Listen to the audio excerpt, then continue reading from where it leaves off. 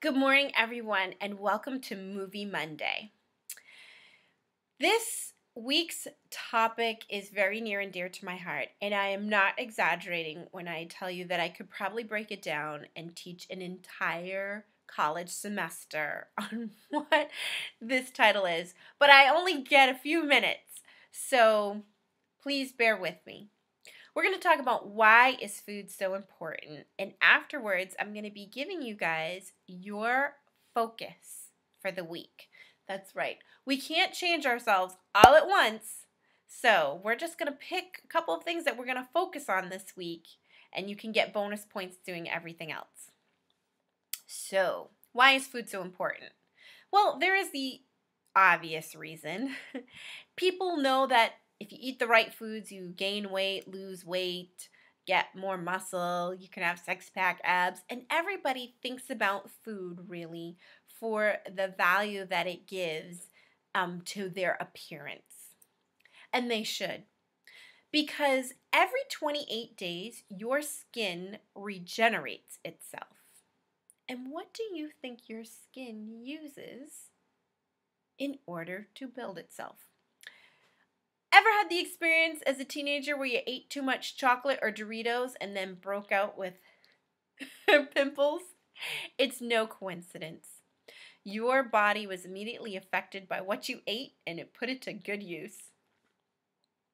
Every five to six months, your liver regenerates itself. Amazing. And every four to six years, you literally have a completely new body. What that means is if, as of today, you started eating non toxic, healthy foods, within four years, you could actually be a better person than you are right now. That's a pretty cool thought. On the same token, if you continue to eat junk, food that's no good for your energy level and does nothing for you, four years from now, your body will be in the worst shape of its life. You choose. Let's talk about other things that people don't like to talk about bloating, gas, indigestion. Okay? These things, they're minor inconveniences to life altering events. And it happens because people are eating foods that they're allergic to or that are not good for them.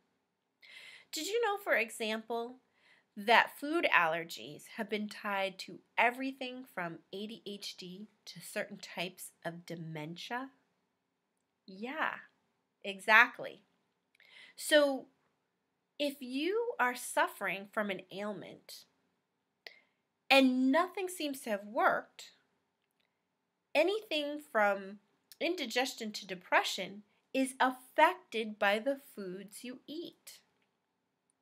A lot of times, people are on medications and they don't realize those medications sap their body of vitamins and minerals. Well, you've got to then eat foods that have more of those vitamins and minerals in order to keep that medication from wreaking havoc on other parts of your body. And then, to top it all off, when you think about it, food is your only source of energy. Well, yes, you could say it's the sun, but the sun is there to grow food.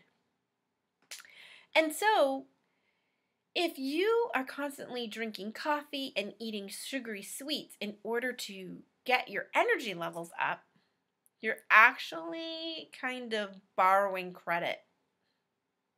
And eventually, guess what? Your body's going to declare energy bankruptcy. So, getting into the habit of eating proper foods and getting yourself weaned off that cycle of sugar high and crashing low will help you to be a more energetic, less tired person all around. So, what's your assignment for the week? Your assignment for the week is to increase your fruits and vegetables. We want you to add in good, healthy foods first. And yes, you can get bonus points for taking out junk food. We'll talk more about that later. But in the meantime, I want everyone to comment below with what five to six fruits and veggies they are going to start incorporating into their daily diet. Heck, you can list 20 veggies and eat different ones each day. But we want you to tell us, your coaches, what you want your body to be made of.